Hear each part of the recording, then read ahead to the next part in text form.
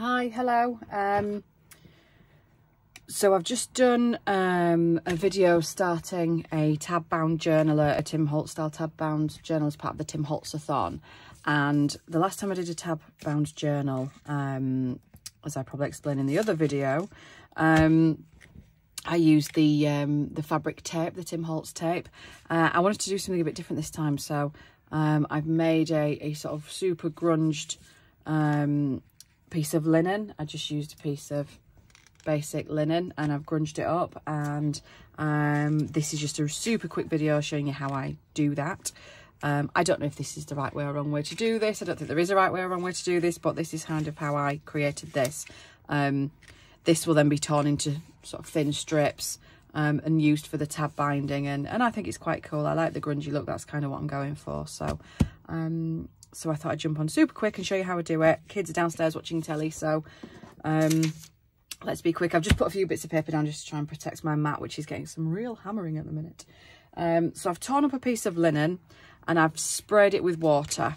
Um, I find that that helps just the absorbency and um, yeah, things just to, to soak in and, and spread a little bit.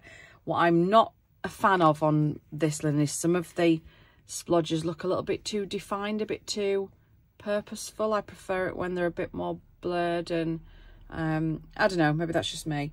So um, I've put lots of lots of water. I've just got a, a basic um, wee sprayer. This is one of the continuous ones. I got this off Amazon. I think it's like a hairdresser's one, but it's really cool. Um, yeah, so give that a nice spray so you can, I don't know if you can tell or not, but that's, that's pretty wet. Um, I'm going to give it a bit of a base spray. I've used a little bit of coffee just because I like how it just sort of just, I don't know if you can tell very well, but it's just sort of dulled from the original bright linen colour, just ever so slightly. So the lighting is pretty rubbish today. It's, it's been like 20, well, yesterday it was like 31 degrees. Today's 27, but it's quite overcast, so the lighting isn't great, but there we are. Um, so just a little light spray of coffee. I'm going to do both sides. Um, a bit more water on that side, I think. and see if you can tell the difference when I spray. If I just sort of do over here, can you see how that sort of darkens slightly? Kind of, kind of, hopefully. Yeah, it's not brilliant the lighting, but there we go.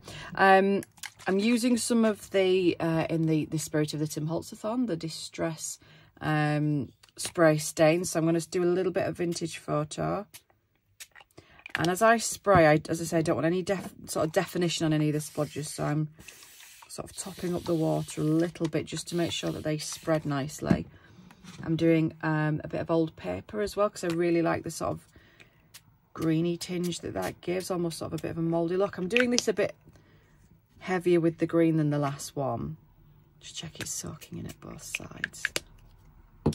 Um, I did use tarnish brass on the last one, but I didn't, I wasn't, I wasn't a fan of how that set, so I'm not going to do that one. And just an ever so slight spray of speckled egg just to give a bit of a bolder colour. Can she do a slight spray? Can we? Kind of. I hope this comes out all right. Hmm. Um, obviously, it's soaking through to the papers underneath, which is nice for dyeing a bit of paper as well at the same time. Um, my fingers already. It's just wrecking my holiday nails. Um, the other thing I've used is alcohol inks. Now, I'm going to start with um, some of the lighter colours. So I've got one of the pearl ones. Again, they give a bit of a sheen, which isn't really what I'm going for, but I do like the sort of mustardy colour, and I don't have very many alcohol inks. Um, I must get some more, but... So I'm going to go in with a few of these. Now, I have some of the alcohol blending spray. I've just got this one, and it's, it's nearly out already. I think Tim does one as well, but this is the one that I have in my cupboard. So, um, yeah, it's it sort of just helps blur it a little bit. So I'm just going to give it a light spritz all over. Again, I don't know if this is how you're supposed to use the blending solution. I've seen it done on mixed media projects, but um, as in on canvas or paper, but not necessarily on fabric. So we like to experiment, and I'm just going to drop a few splodges. Now, what I don't want, as I said, are the definite lines. So I'm giving them an extra spray on top, and I have a little brush that I'm just going to sort of blend the colour out with and push the colour around a little bit. It kind of still does leave the splodge in the middle, but it doesn't look as defined, if that makes sense. Can you see that? Shall I zoom in a bit more? Is that better? So I'm just sort of pushing the colour around a little bit. And I'm going to keep checking it's going through to the other side. Which it is.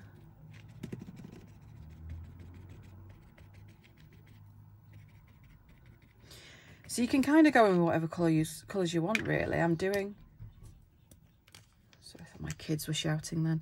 Um, yeah, I'm doing sort of, I want rusty sort of colours is, is kind of the look I'm going for. Now these are really, this is really heavy, this orange. So that last one was, sorry, I didn't even show you. That was um, Alchemy, the alcoholic pearl ink. I'm going to continue spreading as I'm talking. And this was Splendor. There you are, Splendor.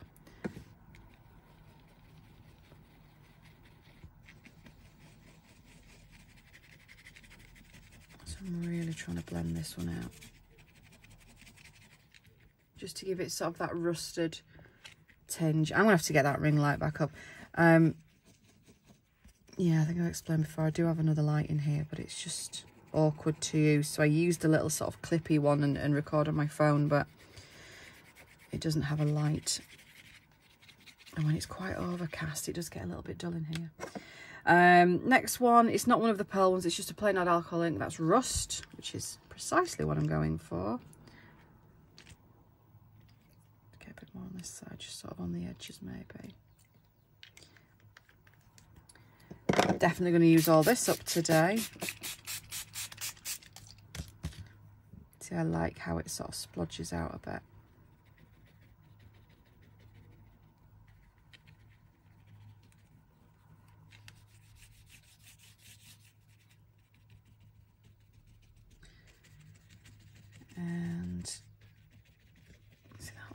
You can sort of go back to them, I find, and blend them out further. Maybe mix some of the colours up. You just don't want anything that looks too purposeful maybe a bit more water. I don't think the water really does anything to the, well, it won't do anything to the alcohol inks. It's, um, it's the spray that you need. Um, I've got ground, well, it's not ground espresso, it's just espresso alcohol ink, which is quite dark. So I'm not going to go mad with this one. Get the edge there. And I have to remember I'm tearing these into strips rather than using a full piece. I'm trying to get a bit of an even spread of the colours.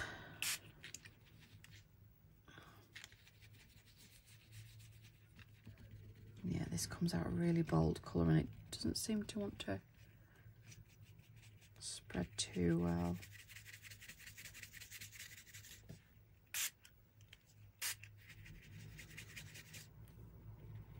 Ooh, got a thread.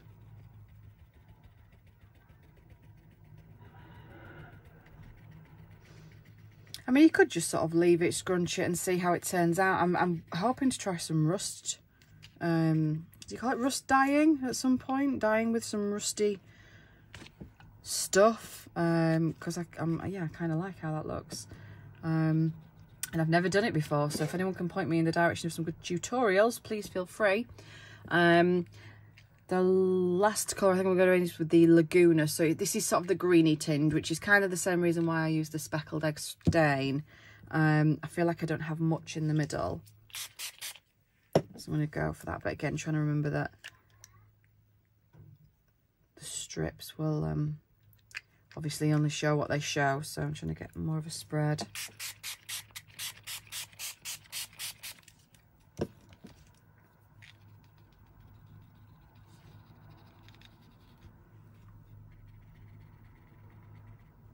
Kind of like how that's spread naturally actually.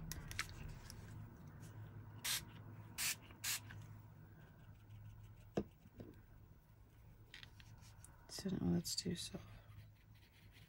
a bit of blending in from the edge just to colour that. Yeah, I like that. Cool with that. But can you see how these are really defined? That's kind of what I didn't want, but I don't know. What do you think? How does that look?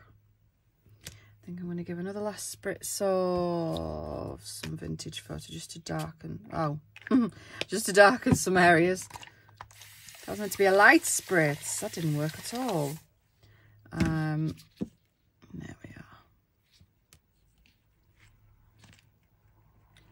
And as we turn it, as I say, dyeing a bit of paper at the same time, why not? Splodge that about, and I'm going to leave that to dry. I used my heat tool um, ew, on the last one, and it's kind of, I kind of like how it's almost singed some of the, the frayed edges. So yeah, quite like that, but I'm just going to leave this one for now because kids and that.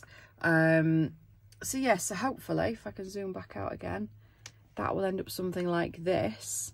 And then we can use them on our project. If I haven't already posted the other one, this is what we're starting with. Um, this is going to be my tab bound journal. I've got some um, sheets from the one of the Tim Holtz sets and cut them down to different widths and sizes. And we're going to do some tab binding at the side and and have a nice funky flippy journal. Um, but do you see I was kind of going for kind of the rusty colours um, with the picking up the greens. So hopefully that'll work really well. You can imagine some of the binding on the side from that. Looking forward to it. So um, yeah, short, short but sweet. Um, and there we have it. Cool. Right, catch you later. Bye.